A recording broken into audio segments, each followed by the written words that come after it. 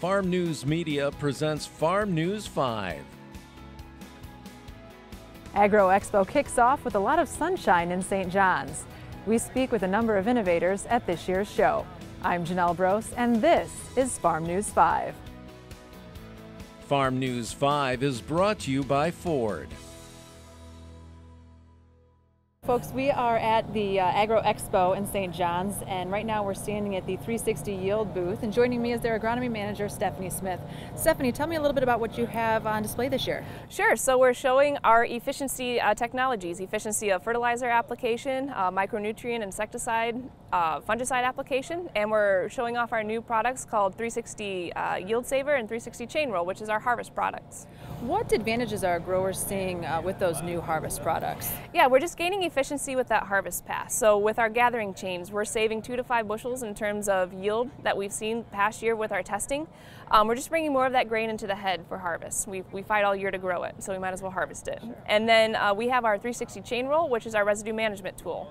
We're getting residue to break down quicker. We're making that fertility become available to the next growing crop, and we're having better plantability the next year. All right, for folks who want to learn more who weren't able to come out to, to the show this year, where do they turn? Yeah, please visit uh, 360yieldcenter.com. We have active Facebook and Twitter accounts, equally as named.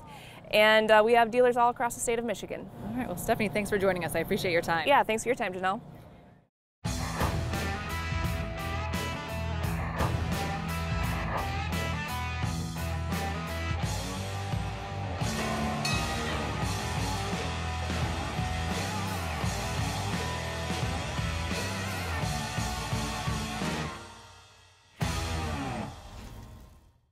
Welcome back to Farm News 5. We are in St. John's at Agro Expo, and joining us now is DuPont Pioneer Dairy Specialist Dan Bollinger. Dan, thanks for joining us today. welcome.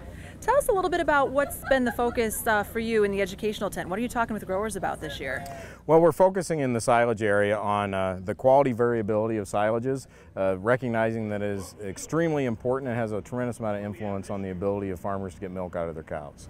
Talk to us a little bit about variability and, and where that's coming from this year. Well, the, the largest source of variability in a lot of the diets being fed to cows comes from the forages that they're feeding, and we're gaining more and more appreciation and understanding of how much variability is coming out of the fields because of micro growing environments, whether that be from different soil types, fertility, planting dates, as well as weather factors that play into it. What can we expect from this year's crop? Well, what, we're, what we've seen in most of Michigan so far is a, a wetter than normal uh, early growing season up through pollination and, and uh, tasseling. And usually we see that the amount of moisture available to the plants uh, through pollination is what determines fiber digestibility. Therefore, this growing season, we're expecting probably below average fiber digestibilities for most growers in the state of Michigan. Um, but obviously, there are local uh, nuances with the environment they've seen. Any advice for growers going forward? Well, something to keep in mind is if you are concerned about poor forage quality and you have an abundance of yield that you anticipate in the field or possibly in inventory, there are some management options such as chopping higher uh, that could potentially give you some benefits, uh, improving quality as it comes out of the field. Because once you put it in the pile or in the bag or other silo, uh, you're pretty much stuck with the quality that you have. Well, Dan, thanks for being with us today. I really appreciate your time. You're very welcome. Thank you. All right, with Farm News 5, I'm Janelle Brose. The Michigan Soybean Promotion Committee is devoted to investing soybean farmer checkoff dollars to address grower concerns. We focus our efforts on production research, market development, and outreach. Learn more at michigansoybean.org. Agro Expo featured a number of test plots like the ones you see here. And now for a look at your weather for the rest of the growing season, here's Michigan Ag Commodities' Mark Sterling. Thanks, Janelle. And if we look at the uh, weather coming up to in the month of uh, August, we certainly had enough growing degree days. And as we look over the next uh, 8 to 14 days, we're going to see plenty of heat maybe even a couple more 90 degree days.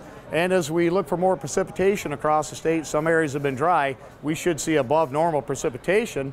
And it looks like we're going to carry the warm temperatures over into September as well.